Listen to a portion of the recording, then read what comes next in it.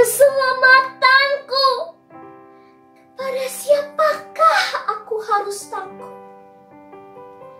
Tuhan adalah benteng hidupku. Terhadap siapakah aku harus gemetar? Ketika penjahat-penjahat menyerang aku untuk memakan dagingku, yakni semua lawanku dan musuhku, mereka sendirilah yang tergelincir dan jatuh. Sekalipun tentara berkemah mengepung aku, tidak takut hatiku. Sekalipun timbul peperangan melawan aku, dalam hal itu pun aku tetap percaya. Satu hal telah ku minta kepada Tuhan, itulah yang kuingini. Diam di rumah Tuhan seumur hidupku. Menyaksikan kemurahan Tuhan dan menikmati baitnya. Sebab ia melindungi aku dalam penuh orang yang duduk dalam lindungan yang maha tinggi dan bermalam dalam naungan yang maha kuasa akan berkata kepada Tuhan, tempat perlindunganku dan kubu pertahananku, Allahku yang kupercayai. Sungguh, dialah yang akan melepaskan engkau dari jerat penangkap burung, dari penyakit sampar yang busuk. Dengan kapaknya, ia akan menundungi engkau di bawah sayapnya. Engkau akan berlindung. Kesetiaannya ialah perisai dan pagar tembok engkau tak usah takut terhadap kedahsyatan malam, terhadap panah yang terbang di waktu siang, terhadap penyakit sampar yang berjalan di dalam gelap, terhadap penyakit menular yang mengamuk di waktu petang, walau seribu orang rebah di sisimu, dan sepuluh ribu di sebelah kananmu. Tetapi itu tidak akan menimpamu engkau hanya menontonnya dengan matamu sendiri dan melihat pembalasan terhadap orang-orang fasik. Sebab Tuhan ialah tempat perlindunganmu, yang maha tinggi telah kau buat tempat perteduhanmu. Pertama minggu itu, pagi-pagi benar, ketika hari masih gelap, pergilah Maria Magdalena ke kubur itu dan ia melihat bahwa batu telah diambil dari kubur. Ia berlari-lari mendapatkan Simon Petrus dan murid yang lain yang dikasihi Yesus, dan berkata kepada mereka, "Tuhan telah diambil orang dari kuburnya, dan kami tidak tahu di mana ia diletakkan." Maka berangkatlah Petrus dan murid yang lain itu ke kubur. Keduanya berlari bersama-sama, tetapi murid yang lain itu berlari lebih cepat daripada Petrus, sehingga lebih dahulu sampai di kubur. Ia menjenguk ke dalam dan melihat kain kafan terletak di tanah akan tetapi ia tidak masuk ke dalam. Maka datanglah Simon Petrus juga menyusul dia dan masuk ke dalam kubur itu. Ia melihat kain kafan Lalu sampailah Yesus dan murid-muridnya ke suatu tempat yang bernama Getsemani. Kata Yesus kepada murid-muridnya, Duduklah di sini, sementara aku berdoa. Dan ia membawa Petrus, Yakobus, dan Yohanes sertanya. Ia sangat takut dan getar. Lalu katanya kepada mereka, Hatiku sangat sedih, seperti mau mati rasanya. Tinggallah di sini dan berjaga-jagalah. Ia maju sedikit, merebahkan diri ke tanah dan berdoa supaya sekiranya mungkin saat itu lalu daripadanya.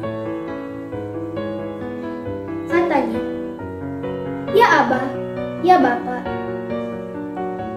tidak ada yang mustahil bagimu. Ambillah cawan ini daripadaku. Tetapi janganlah apa yang aku kehendaki, melainkan apa yang engkau kehendaki. Setelah itu, ia datang kembali dan mendapati ketiganya sedang tidur. Pertama, minggu itu, pagi-pagi benar ketika hari masih gelap, pergilah Maria Magdalena ke kubur itu, dan ia melihat bahwa batu telah diambil dari kubur. Ia berlari-lari mendapatkan Simon Petrus dan murid yang lainnya dikasihi Yesus, dan berkata kepada mereka, Tuhan telah diambil orang dari kuburnya, dan kami tidak tahu di mana ia diletakkan. Maka berangkatlah Petrus dan murid yang lain itu ke kubur. Keduanya berlari bersama-sama, tetapi murid yang lain itu berlari lebih cepat daripada Petrus, sehingga lebih dahulu sampai di kubur. Ia menjenguk ke dalam dan melihat kain kapan terletak di tanah. Akan tetapi ia tidak masuk ke dalam. Maka datanglah Simon Petrus juga menyusul dia dan masuk ke dalam kubur itu. Ia melihat kain kapan terletak di tanah. Sedang kain peluh yang tadinya ada di kepala Yesus tidak terletak dekat kain kapan itu. Tetapi agak di samping di tempat yang lain dan sudah tergulung, maka masuklah juga murid yang lain yang lebih dahulu sampai di kubur itu, dan ia melihatnya dan percaya. Sebab selama itu, Pujilah Allah dalam tempat kudusnya. Pujilah dia dalam cakrawalanya yang kuat. Pujilah dia karena segala keperkasaannya. Pujilah dia sesuai dengan kebesarannya yang hebat. Pujilah dia dengan tiupan sangkakala. Pujilah dia dengan gambus mencapai.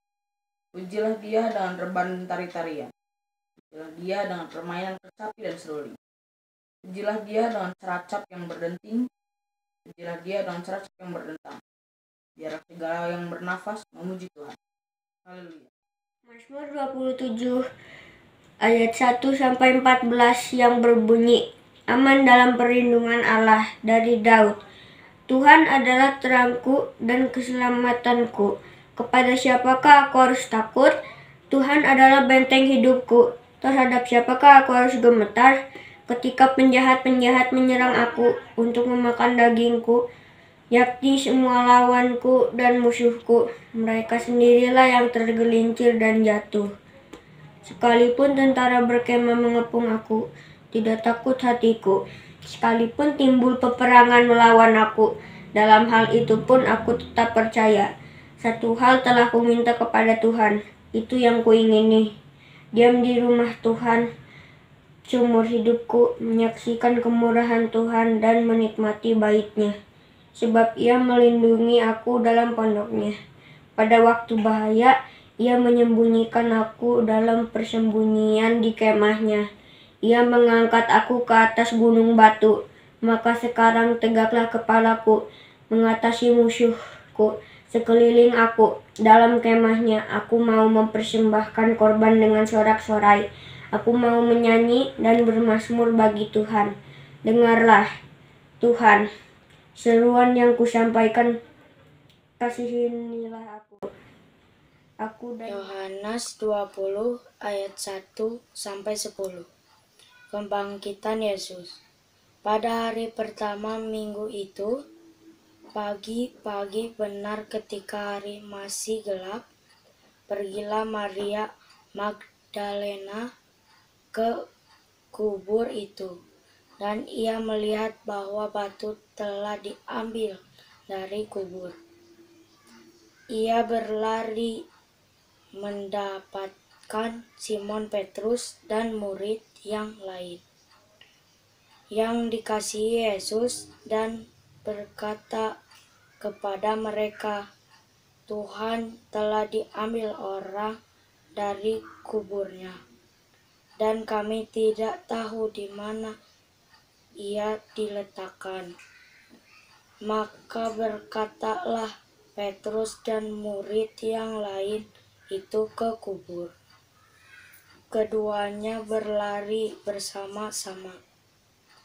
Tetapi murid yang lain itu berlari lebih cepat daripada Petrus sehingga lebih dahulu sampai di kubur.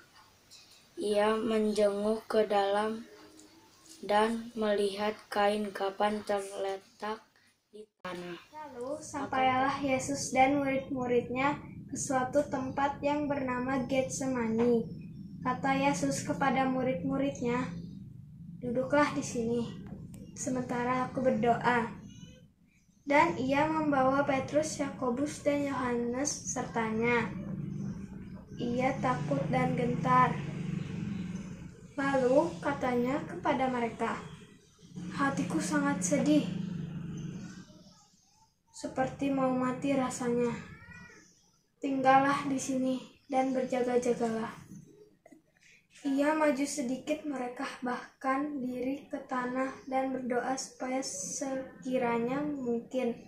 Saat itu lalu daripadanya katanya, "Ya Aba, ya Bapa, tidak ada yang mustahil bagimu. Ambillah cawan ini daripadaku. Tetapi janganlah apa yang aku kehendaki, melainkan apa yang engkau kehendaki." Setelah itu, ia datang kembali dan mendapati ketiganya sedang tidur. Dan ia berkata, berkata kepada Petrus, Simon, tidurkah engkau? Tidak engkau sanggup berjaga jaga satu jam? Berjaga-jagalah dan berdoalah supaya Minggu itu, pagi-pagi benar ketika masih gelap, pergilah Maria Magdalena ke kubur itu dan ia melihat bahwa batu telah diambil dari kubur. Ia berlari-lari mendapatkan Simon Petrus dan murid yang lain yang dikasihi Yesus dan berkata kepada mereka, Tuhan telah diambil orang dari kuburnya dan kami tidak tahu di mana ia diletakkan. Maka berangkatlah Petrus dan murid yang lain itu ke kubur. Keduanya berlari bersama-sama. Tetapi murid yang lain itu berlari lebih cepat daripada Petrus sehingga lebih dahulu sampai di kubur. Ia menjenguk ke dalam dan melihat kain kapan terletak di tanah. Akan tetapi ia tidak masuk ke dalam. Maka datanglah Simon Petrus juga menyusul dia dan masuk ke dalam kubur itu. Ia melihat kain kapan terletak di tanah. Sedang kain peluh yang tadinya di, ada di kepala Yesus tidak terletak dekat kain kapan. Pada hari pertama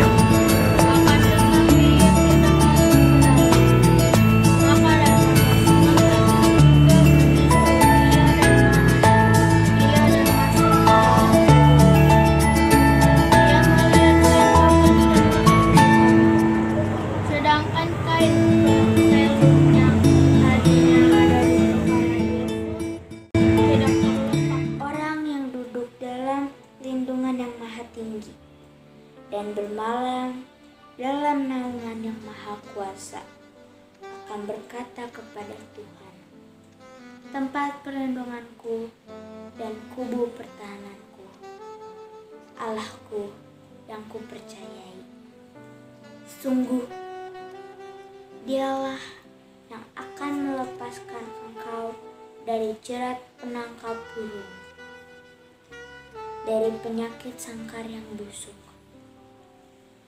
Dengan kepaknya, ia akan melindungi engkau. Di bawah sayapnya, engkau akan berlindung. Kesetiaannya ialah perisai dan pagar tembok.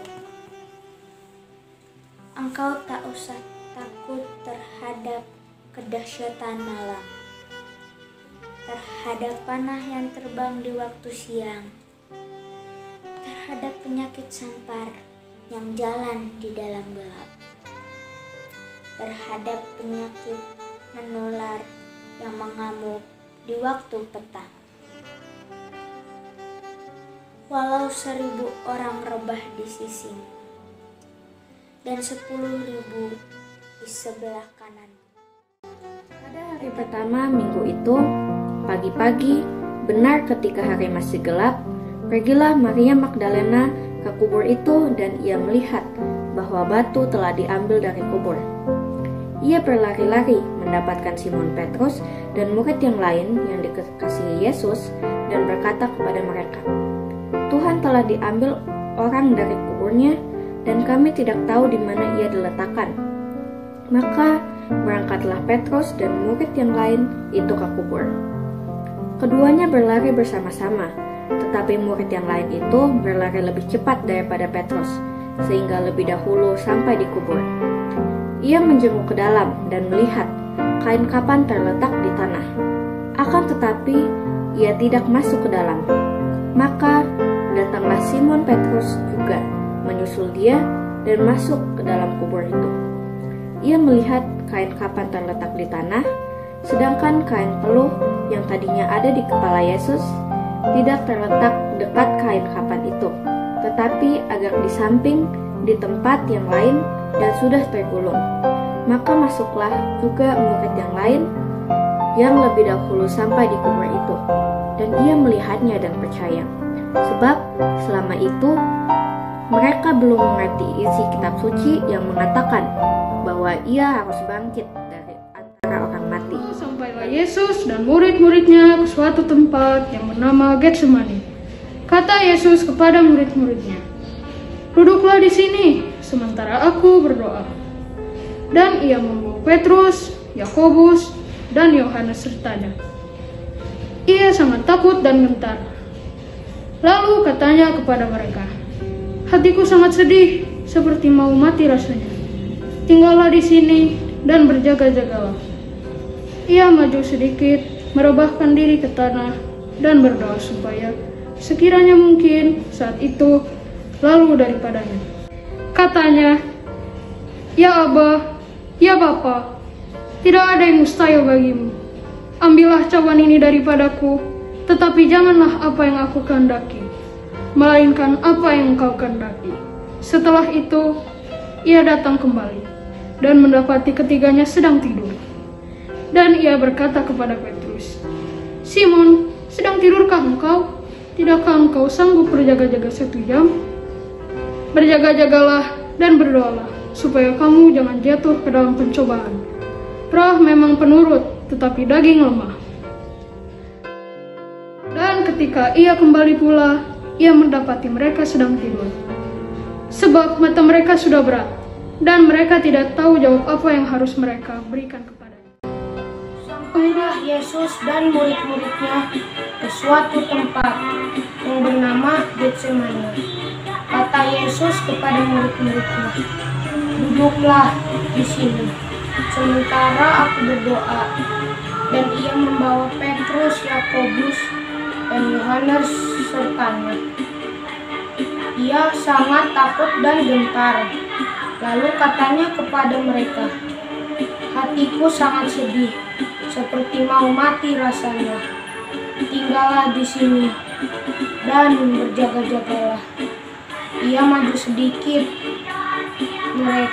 merebahkan diri ke tanah dan berdoa supaya sekiranya mungkin saat itu lalu daripadanya. Katanya, Ya Bapak, ya Bapak, tidak ada yang mustahil bagimu. Ambillah cawan ini daripadaku. Tetapi janganlah apa yang aku kehendaki, melainkan apa yang engkau kehendaki. Setelah itu, ia datang kembali dan mendapati ketiganya sedang tidur. Dan ia berkata kepada Petrus, Simon, sedang tidurkah engkau? Tidakkah engkau sanggup berjaga-jaga satu jam? Berjaga, Engkaulah tempat perteduhan kami, turun-temurun. Sebelum gunung-gunung dilahirkan, dan bumi dan dunia diperanakan. Bahkan dari selama-lamanya, sampai selama-lamanya, engkaulah Allah. Engkau mengembalikan manusia kepada debu dan berkata, Kembalilah, hai anak-anak manusia, sebab di matamu seribu tahun, sama seperti hari kemarin apabila berlalu atau seperti suatu giliran jaga di waktu malam.